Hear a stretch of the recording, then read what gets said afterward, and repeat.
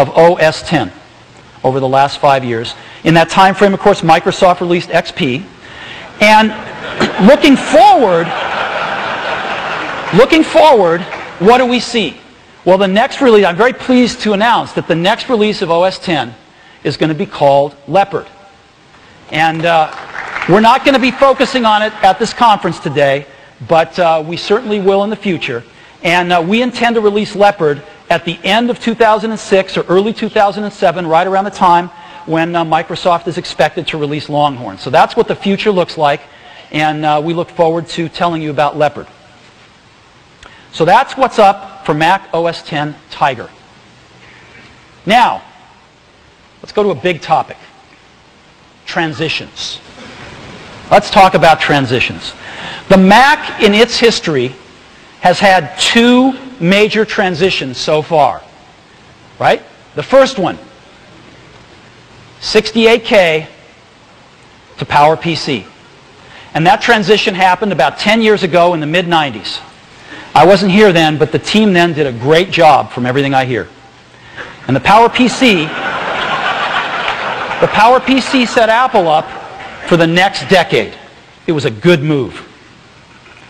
The second major transition, though, has been even bigger. And that's the transition from OS 9 to OS 10 that we just finished a few years ago, in the early part of this decade. This was a brain transplant. And even though these operating systems vary in name only by one, they are worlds apart in their technology. OS 10 is the most advanced operating system on the planet, and it has set Apple up for the next 20 years. Today, it's time to begin a third transition. We want to constantly be making the best computers for you and the rest of our users. And so it's time for a third transition. And yes, it's true. we are going to begin the transition from the PowerPC to Intel processors. And we are going to begin it for you now and for our customers next year. Now, why are we going to do this? right?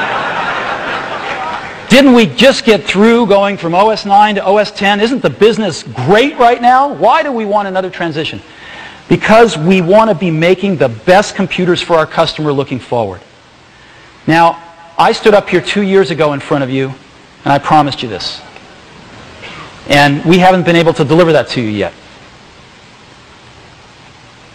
I think a lot of you would like a G5 in your PowerBook, and we haven't been able to deliver that to you yet. But these aren't even the most important reasons. The most important reasons are that as we look ahead, though we have great products right now, and we've got some great PowerPC products still yet to come, as we look ahead, we can envision some amazing products we want to build for you. And we don't know how to build them with the future PowerPC roadmap. And that's why we're going to do this. When we look at Intel, they've got great performance, yes. But they've got something else that's very important to us. Just as important as performance is power consumption. And the way we look at it is performance per watt. For one watt of power, how much performance do you get? And when we look at the future roadmaps projected out mid-2006 and beyond, what we see is the PowerPC gives us sort of 15 units of performance per watt. But the Intel roadmap in the future gives us 70. And so this tells us what we have to do. Now, this is not going to be a transition that happens overnight. It's going to happen over a period of a few years. Again, we've got great products right now, and we've got some great PowerPC products in the pipeline yet to, to be introduced. But starting next year, we will begin introducing Macs with Intel processors in them, and over time, this transition will occur. So when we meet here again this time next year, our plan is to be shipping Macs with Intel processors by then.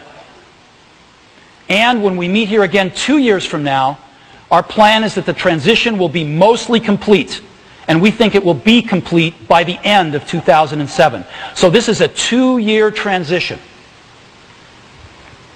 So, first transition, 68K, to PowerPC. Second transition, OS 9 to OS 10, We're going to begin a third transition from the PowerPC to Intel processors.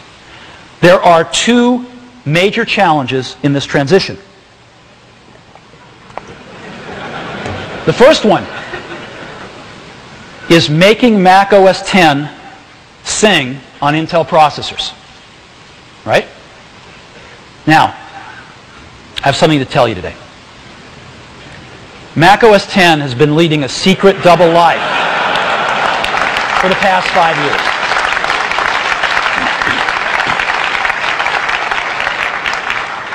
There have been rumors to this effect. But this is Apple's campus in Cupertino. Let's zoom in on it. In that building right there, we've had teams doing the just-in-case scenario. And our rules have been that our designs for OS 10 must be processor independent and that every project must be built for both the PowerPC and Intel processors. And so today, for the first time, I can confirm the rumors that every release of Mac OS 10 has been compiled for both PowerPC and Intel. This has been going on for the last five years.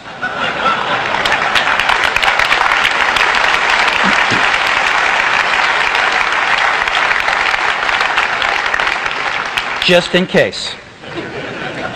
So Mac OS X is cross-platform by design, right from the very beginning. So, Mac OS X is singing on Intel processors, and I'd just like to show you right now. As a matter of fact, as a matter of fact, this system I've been using here, let's go have a look. Let's go have a look here.